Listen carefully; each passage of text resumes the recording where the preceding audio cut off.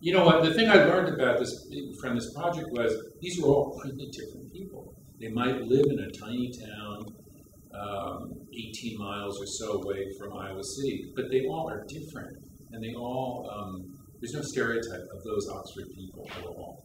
You know, when when you start examining small town America, whether it's in Wyoming or Mississippi or Iowa, there, there are certain fundamentals, there are certain constants.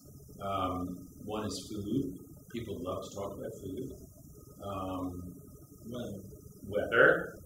People also really talk about illness. One thing that's really interesting for me is whenever we interviewed someone who was maybe over 75 or 80, um, I just popped the question, what happens after you die? Because I'm really interested. and, you know, so we got lots of interesting responses. You know, we met a Buddhist.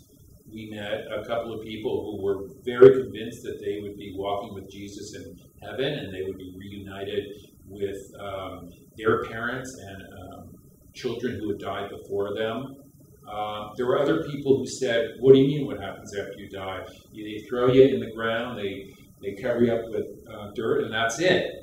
When we showed them the photographs, uh, there'd be a, a, almost no pause at all, and the first words out of most people's mouth mouths was, "Oh my," you know.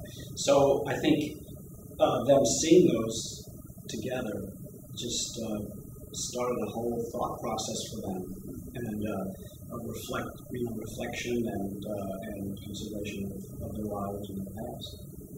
After Peter and I did maybe 30 interviews, people started figuratively lining up to be interviewed.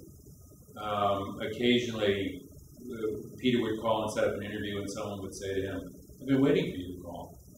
I've been thinking about how I'm going to answer your questions for me, the story continues because I uh, I know so many of the people even better now, and um, they tell me their, their stories still. They continue. It becomes richer and richer as time goes on. And then, of course, I relate them to Steve.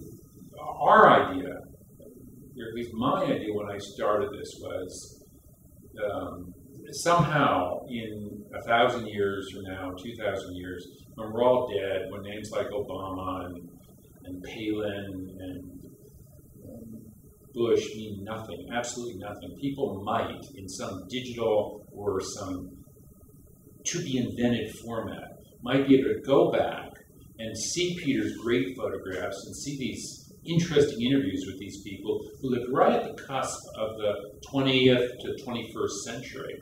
And they could find out what it was like to live way back then, a thousand, two thousand years ago. So that's my interest in doing it.